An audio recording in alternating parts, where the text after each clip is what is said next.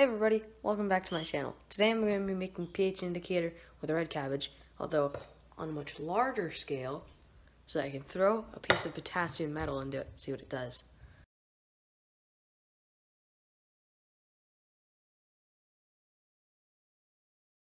Here we are pouring off the cooled uh, red cabbage. It's kind of like a mush. Kind of mushy. And there is the very dark liquid.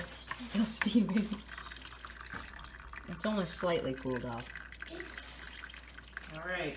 Beautiful. I got my cappuccino. Beautiful.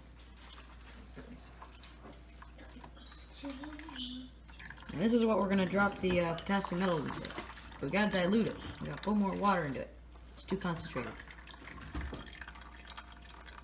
what, what were you just saying a second ago? You want concentrate? You've got to concentrate, concentrate, concentrate.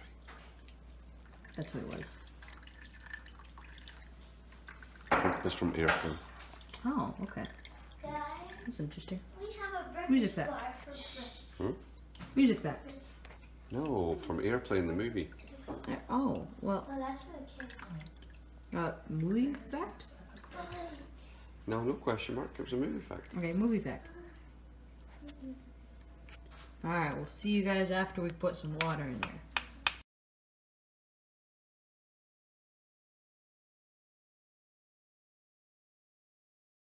Alright, so I'm gonna fill up this bucket uh, most of the way with water then put in the red cabbage juice because right now it's too strong and so we won't really see the color change that I hope will be going on.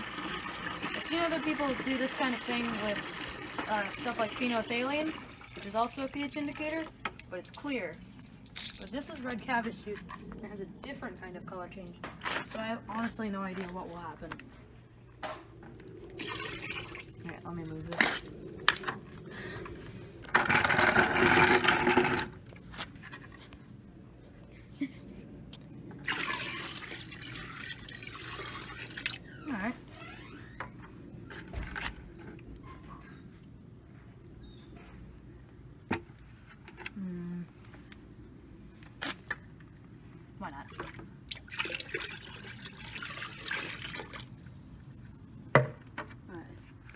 This will work.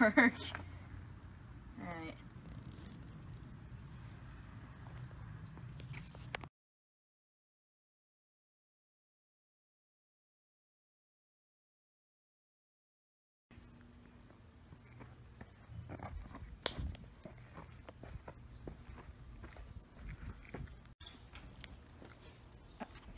So, so the first thing we need to do is cut the potassium. And so you can see it right now, it's pretty banged up because of all the times we've cut it. There's actually a piece just sitting at the bottom. But if we cut yet another piece, and if it, if it decides not to sink to the bottom, I would really appreciate it. Oh, that's a nice little piece. Should we do like a little tester? Mm-hmm. All right. Put this over here. Alright, it's not sticking to the glove, so that's good. Alright, so here's the piece. It's pretty gray. Seem to be reacting with the glove or anything. It's pretty nice. Alright.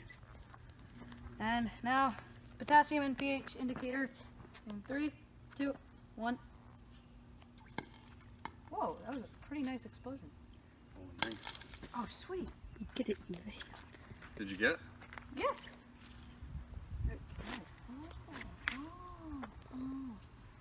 Alright. Still recording? Whatever. Too lazy to edit that out. Okay. Now a big one. Okay, I'm just gonna That's the cameraman back up. okay. Yeah, Get a zoom in. yeah, that's a good idea. Okay, let's put the lid on. Yeah. Whoa, it's really shiny. Look at this. Beautiful. Oh wow. It's like aluminum, I know, right? buffed aluminum. Nice. Alright. This one I'm actually pretty scared. Should I toss it in? And now what for this? Three, Go. two, one. Oh! Whoa! I should have zoomed out more. Okay, let's try not to breathe that in. Spooky, Nobody's scary confirmed what that skeleton. Oh my god, that was amazing! Okay, let's see. Has the has the Oh yes, it's turned green. It's turned green. That's exactly what should have happened. It's super alkaline. It's hard now. to see that on the camera, but it has turned a shade of green. Yeah, you can see that the pla- oh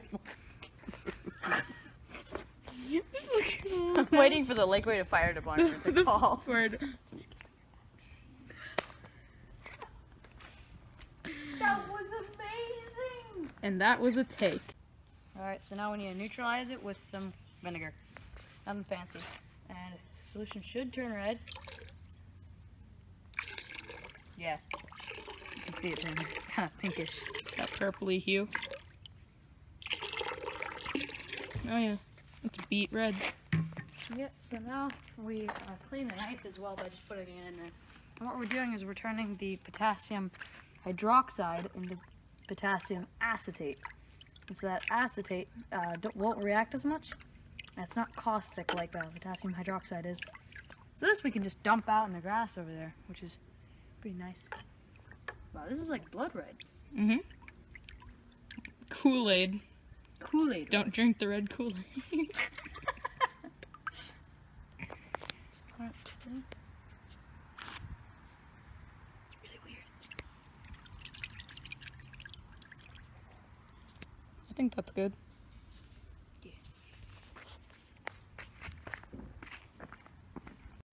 Thank you all very much for watching, and if you enjoyed, please remember to like and comment down below, or click on my profile picture to subscribe. Bye!